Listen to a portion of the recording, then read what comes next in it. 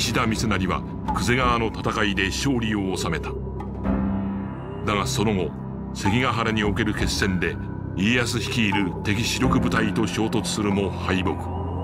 部隊は壊滅し皆散り散りになった。銀千代もまた九州へ逃げ延びた。しかし敵の追撃部隊に追いつかれてしまう。連れ添う仲間はごくわずか。絶体絶命の状況であった。だが銀千代は諦めなかった。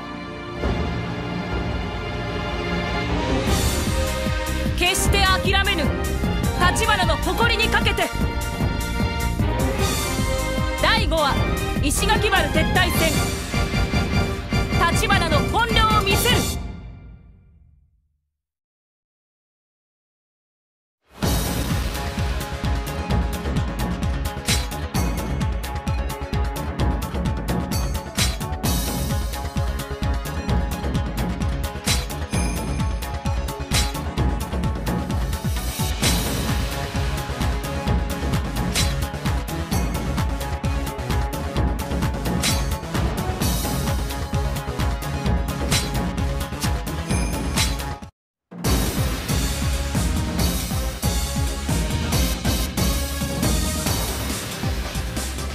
三成が関ヶ原で敗れ西軍は解散した。そして私も孤立し敵に包囲されてしまった。だが立花は一気になろうと戦い続ける。城に誰一人として侵入させるな。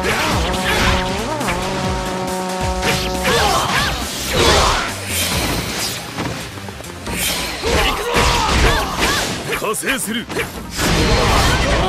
切なものの手を決してよかろう。立花の戦に付き合うことを許す。開門。福島正則が何やら画策しているようだ。くだらぬ工作など立花が蹴散らしてやる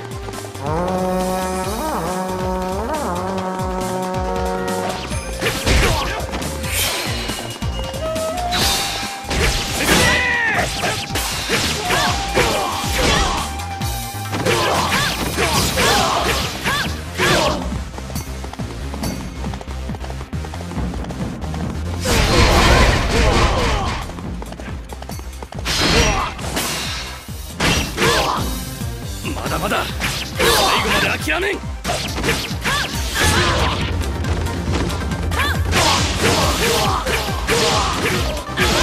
この程度で立花を打ち取れ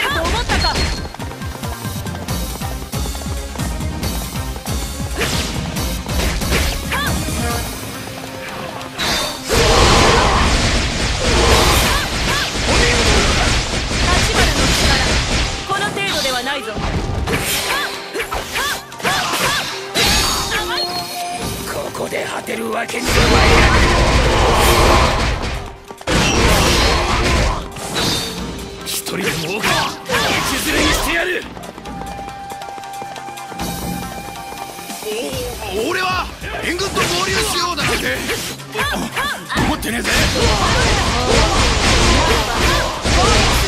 貴様を叩き潰してやろう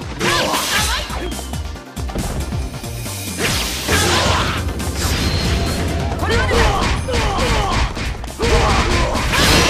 行くぞ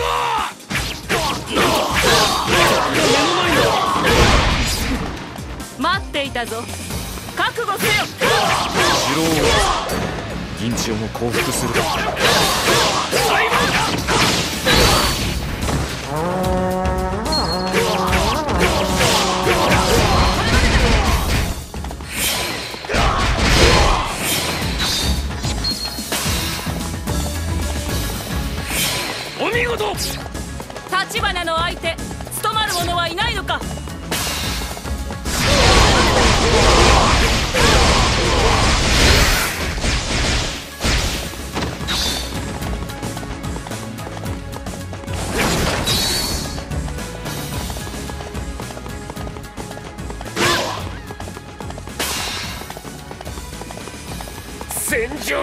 となるのか。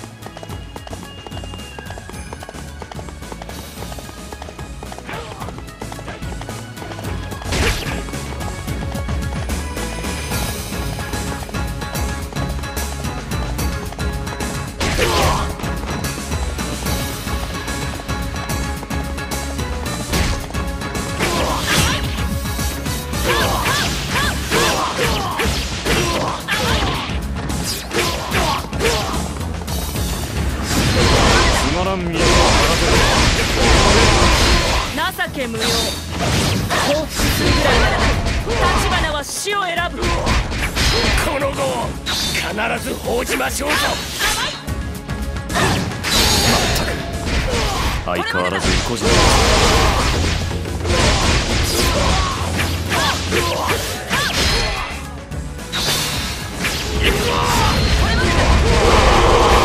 もはや幸福は無用だ。完全包囲はなった。あとは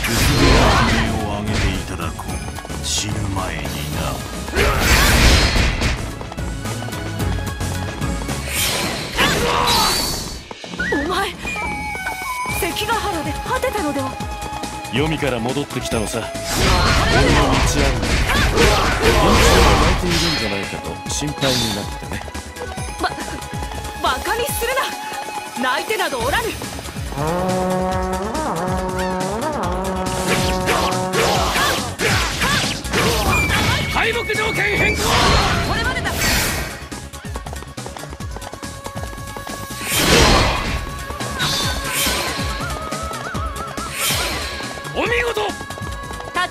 力。この程度ではないぞ。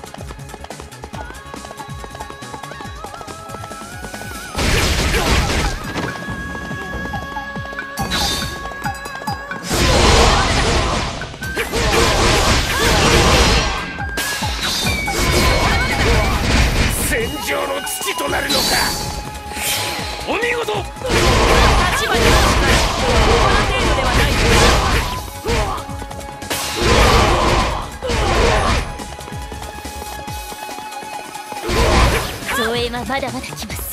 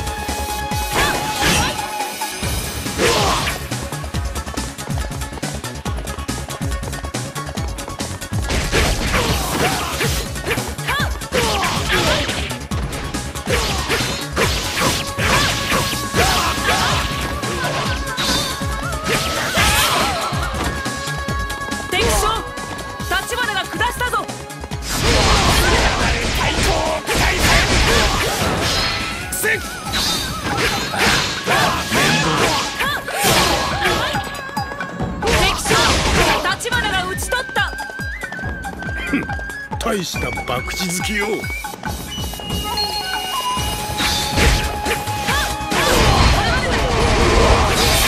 お見事。立花の安定に務まる者はいないのか。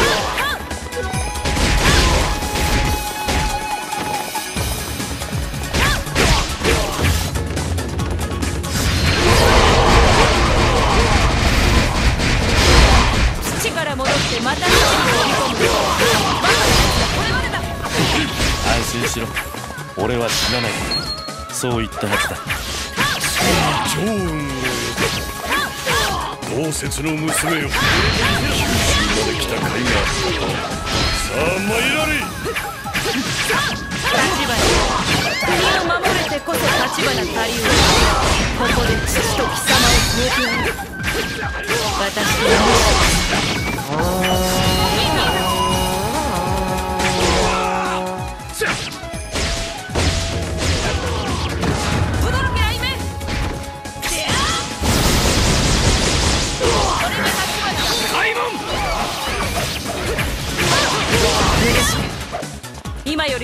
を突破するぞ。行こうか。共に。進め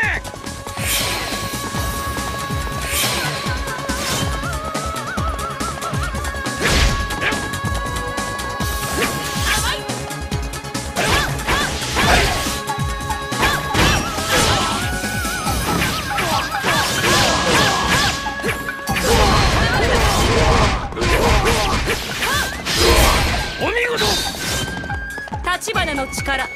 この程度ではないぞ。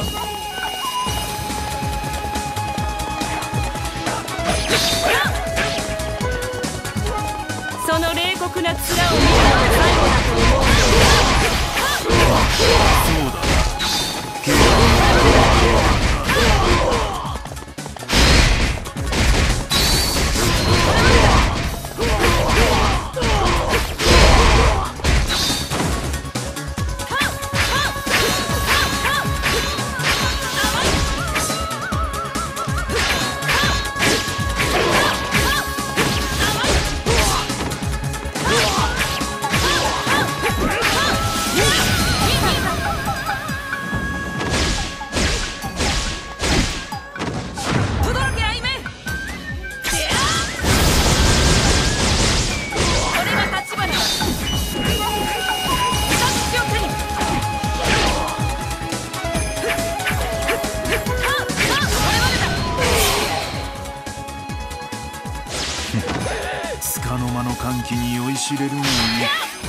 ケーラはすでに幾重にも包囲されている。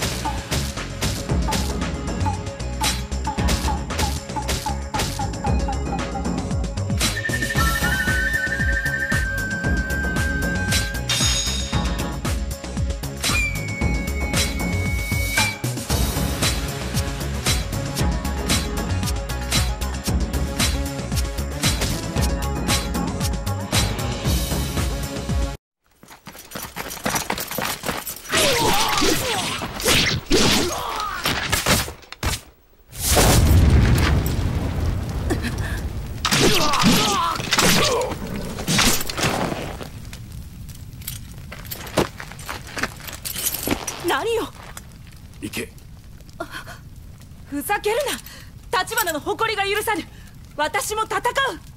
そうだ。戦え。生きて。お前自身のために。だがお前は。俺は死なない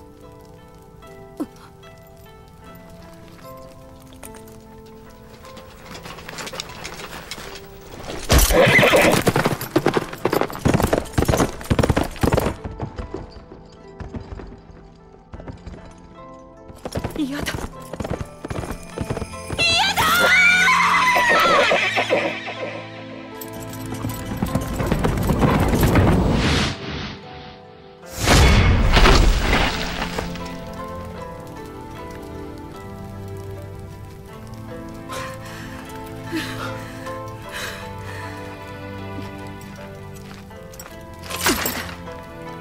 ふざけるな。聞けるか？立花は私一人じゃない。お前を失うことなど私が。